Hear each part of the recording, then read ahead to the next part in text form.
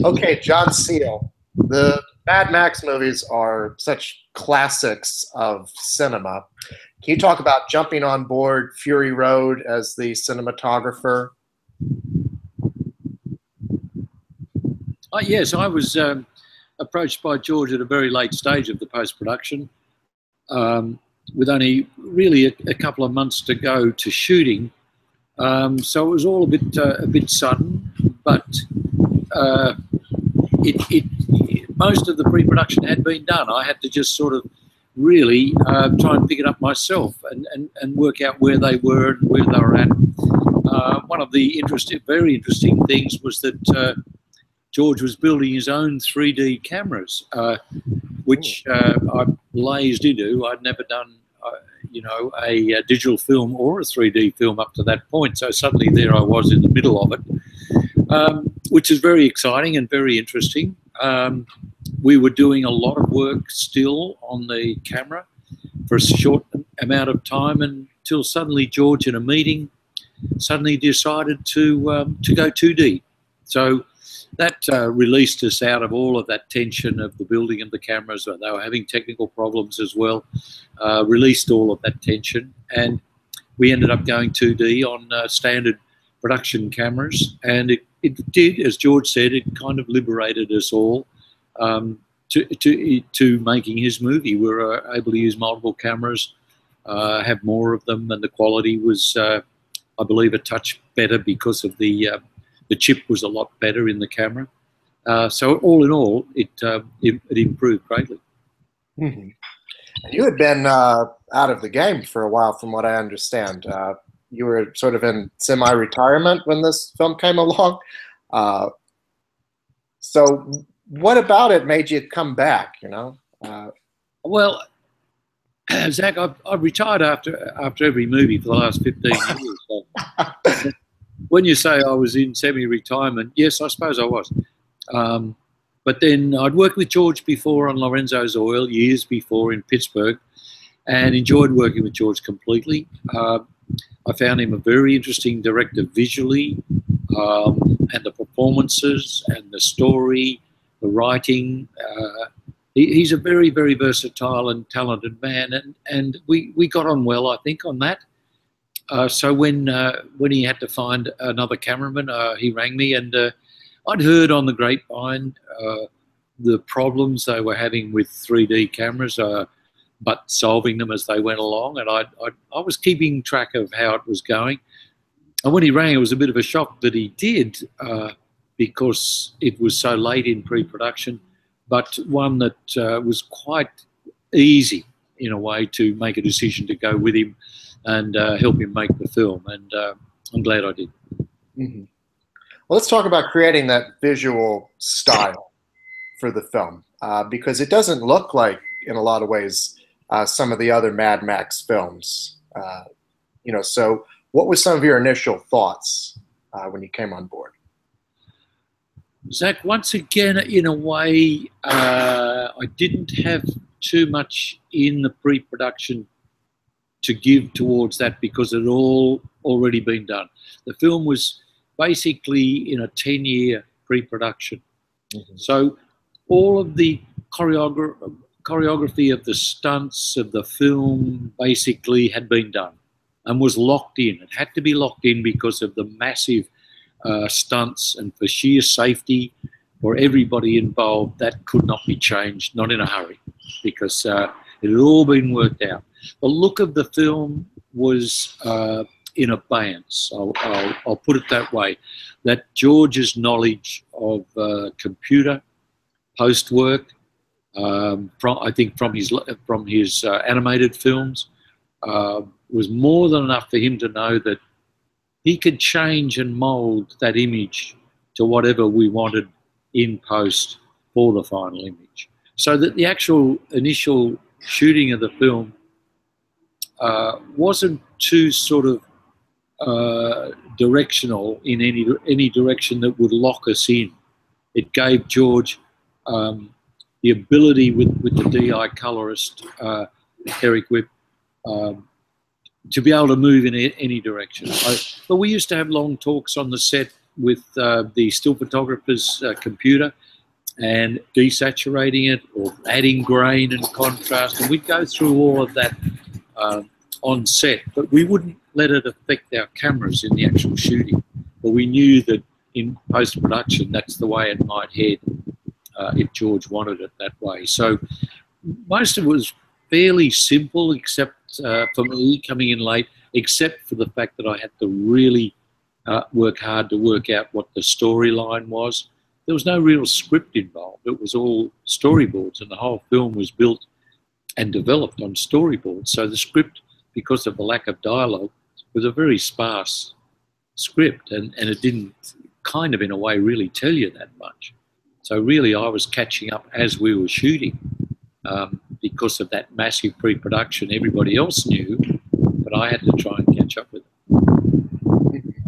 Well, that's one of the things I was going to comment about is that you know this film it just hits the ground running, and there's very little in the way of dialogue and exposition. So, can you talk about uh, creating this exposition visually? You know, I, I mean, in a lot of ways, it's almost like a like a silent movie in parts of it. It is very much so, very much so. And uh, what I love about George's work is that he doesn't feel he needs to explain it explicitly. He allows the intelligence of the audience to to assume some, what's happened or, or to, to later work it out as, as the story unfolds, that the green place um, uh, was the tree and that the green place, because of talk with the Vuvalini, that maybe it was the ooze that came out of the soil. And then so they can work out, hey, what was the apocalyptic event that created um, this desert wasteland? Uh, was it uh, fracking for oil and killing the ground, or was it um, the pollution we're putting into the atmosphere to create global warming? What was it? We don't know, but he does leave an awful lot to the audience to to try and work out, and will who will work out what actually happened and where they where they're going to go. Will they solve it? Um, so I like that. I like the fact that he's leaving an awful lot of lot of the uh, the script out to let the audience um, do a lot more thinking about it. But he's dropping in these lovely hints from different angles, different people uh, during the story to help them along the way. Mm-hmm. So this is a massive undertaking. Uh, take us on to the set. You're out in the desert. Uh, there's a lot of stunt work. You know, tell us about some of the uh, challenges that you guys faced during the making of the movie. Well, most of it, most of it, Zach, was in the cab of the truck. Forty-five percent, um, maybe a little more of the of the film is inside the cab of a, a truck, and that that for uh, seven people when it's full with five girls and the two leads uh, was a pretty full truck. And so we had to work through windows and wherever we could. Going 2D at the last minute was great because it gave us very small compact cameras to work with and we could get them in and hide them behind seats or under the dash or whatever. So that was good. But most of the uh, angles of George's were predetermined by the storyboards. And he was very explicit with that. He didn't, uh, the film wasn't a normal, say, what if film. What if we do it from here? What if we do it from there? Um, George knew where it was from because 10 years of pre production and storyboards told him where it was going to go, and that's where his camera went. But we did add in multiple cameras where we could to get cross shooting and get cutaways in the back seat or whatever. We worked those a lot. Lighting that, uh, as well as having so many cameras, was a problem. But once we went 2D, the capabilities of the 2D cameras were much greater than the 3D camera that he'd been building, and the latitude in exposure was a lot better so that I was able to use smaller compact LED lights which fitted between cameras. They were handheld so that the um, lighting boys could actually get lights behind, uh, between cameras or behind the operator's head and, um, and work them. And if the camera moved, which we had the ability to move cameras up and down, then they could move with the cameras. And, and any shadow movement on the actors would look as though it's the truck movement anyway. So we were pretty loose and free about it. Uh, and I think that that helped the actors a lot to just do what they want to do and not restrict them to any lighting format or camera formats. All the operators uh, and the lighting boys just just waltzed with them. So when they moved, everything else would move, and it just kept the whole thing going. So that was the biggest challenge. Um, David Burr on second unit, action unit, did some extraordinary stunts, which were choreographed by by uh, our stunt coordinator, and and they were extraordinary because, you know, in the long pre-production, every truck and car was choreographed for safety, but also for a spectacular stunt. And I think when you find that, um, I would say 80% of the film, the trucks that the actors are involved in aren't moving. They're on a sim tra- travel plate or um, they're on the ground and, and we're moving the cameras a little to make it look as though it's still uh, traveling. A lot of wind machines to get hair blowing in the wind uh, as though they're traveling. Uh, lighting moving, creating little shadows across the faces that moved. All of that helped to keep this um, feeling that in fact the, the, truck is moving. But for sheer safety, convenience, um, for shooting, and uh, for crew and actors, they, the trucks weren't moving. So it was uh, something that George honed from the early Mad Maxes, where they kind of really invented, I think, SimTrav, and and uh, and I think on Mad Max they they you know were, were polished to the uh, and honed to the to the utmost to get it right. And I think I think he did. Watching it again uh, yesterday, um, certainly I don't think there's many times there anybody would ever think the trucks aren't moving. Well, you certainly fooled me. Um, and uh, I want to talk some more about the stunt work because it's really incredible, and the majority of it is practical. Um, can you talk about the the benefit, uh, not just from a filmmaking standpoint, but from a viewer's standpoint, of doing these stunts practically, um, as opposed to say on a green screen or on a computer? I think that for Guy Norris, uh, you know, coming out of uh, a traditional uh, stunt work over the years where everything was uh, real, it was live action. I think he kept that going, but also I think the um, the way they choreographed it, that often the, the truck that was being hit, or car, vehicle that was being hit, actually wasn't moving. But the, the war rig or any big truck and other vehicles would be pounding down and the cameras were moving uh, with the, the war rig, then they would hit a stationary vehicle. But in the edit, that stationary vehicle is actually moving. So the moment of the edit is a split second after it hits. So the whole inference is they caught up with a slower vehicle. They didn't bang into a static vehicle. And I thought that was all brilliantly done. It was all worked out by Guy Norris over the years, and every uh, every uh, stunt had a, a, set dance pattern of cars, how, how they were going to move, where they'd be at a certain impact point, that everything was safe. All the stuntmen driving was safe. Um, there were uh, quite a bit of kind of CGI bodies and figures uh, were painted in later to be to be taken off the top. An enhancement of smoke, dust, and flames were added. Uh, if they weren't substantial enough for the um, for the stunt. So th- that was embellished by visual effects. But basically, uh, Guy Norris and Davey Burr shooting shooting that action unit put together some extraordinary stunts uh, of live action that were then very well embellished by visual effects to make it um, look a little more sort of uh, flame and smoke ridden than it was. Mm-hmm. And you know, the other uh, striking thing about this movie is how uh, painterly a lot of these images are. Uh, so, can you talk about you know filming action in that way?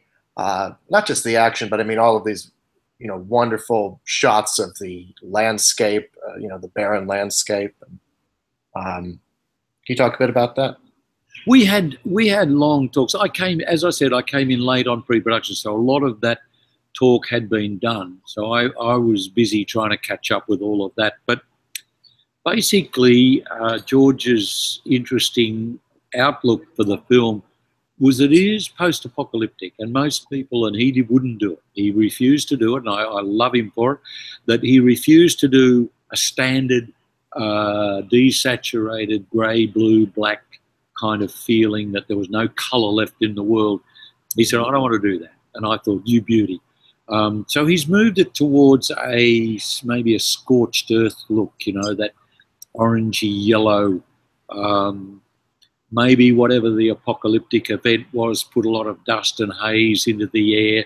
Maybe the maybe his uh, hint of global warming has made uh, desert storms so big now, which is in the movie, so big that they actually go into the upper atmosphere and the sun shines through them and it's a yellow cast. And so there's a lot of logics in that in that colouring, and I think that uh, we didn't do too much of that in camera because then it's sort of locked in. Um, really, the, the feeling is that the, the, the digital intermediate now on the computer, you can add it all in later a lot safer. Take it out a little, add a bit more, grain is the same. You can add it, subtract it.